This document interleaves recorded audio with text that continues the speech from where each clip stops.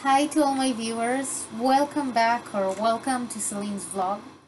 Today will be short because my computer died and I will not manage to upload the episode I prepared. Um, it was a very invested episode but I didn't manage to finish editing before my computer broke down. Um, but that's a bummer. Um, I wanted to talk about the content of this channel. Um, the next episode, as I said, was already filmed and I will put it up once my computer gets back up. Um, as for the future, I planned two things mainly. Uh, one of them is walks in nature, like beaches, things like that. Um, not crowded places like the park, uh, so that I don't get so anxious again. Uh, you know, like quieter but beautiful places. Uh, and the second thing is drawing. Um, so I don't draw so much anymore. It's very time consuming. Um, I'm not really managing to invest as much as I want, and you know I invest too much already. That's that's a mistake I did with the videos as well. Um, but I thought of showing my old art.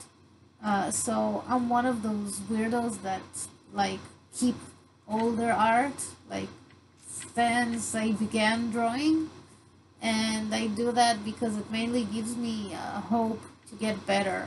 Um, like I see how I got better over the years and like I'm not gonna lie, I really need some hope right now because I feel like a noob with this channel and I I wanna believe I can can make it better. Uh, and you know it could also inspire some viewers uh, to keep doing whatever they're doing you know? Uh, so i mean i don't know if this will be inspiring to each and every person but i'm sure someone could find um, some confidence from it. Um, and so I, I only have a few watchers right now but that actually means that you can influence a lot uh, you know, every criticism counts, and I can reply everyone and uh, read every comment, and you know, you can help me make better content.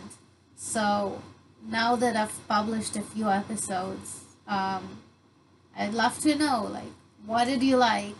What did you not like? Uh, is there anything you'd want me to repeat?